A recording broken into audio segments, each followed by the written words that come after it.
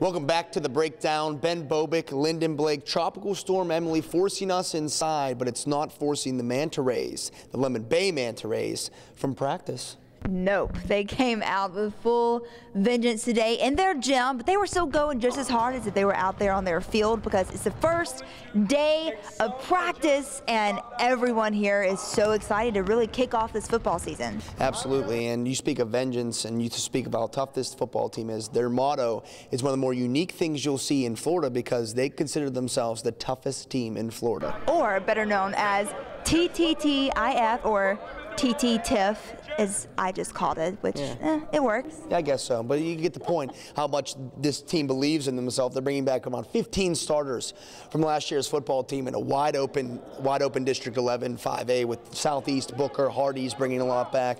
So, and they're they're building it all around one guy, and his name is Hayden Wolff quarterback, junior. He's got a receiving offer from Kentucky. It's a lot of other number of other Division One um, looks, and this kid just his, his maturity level is one thing is I've, I've, I haven't seen before in a 16. To paint a better picture of his maturity level, Coach Southwell was telling us when he went up to some of these college visits, he's 16. He went by himself, drove well not drove himself, but got an Uber and Ubered around town all alone, and that was one of the things in Kentucky that they're like, we want him because you need someone with that maturity at the quarterback position that's going to keep the team calm in situations and lead them to victory. Yeah, and, and, and Coach Southwell said he's the former defensive coordinator, new coach this year for the Manta Rays, but familiar face. He was defensive coordinator for the last 10 years. He's been here for almost 17 years at Lemon Bay. So it's an easy transition for the team.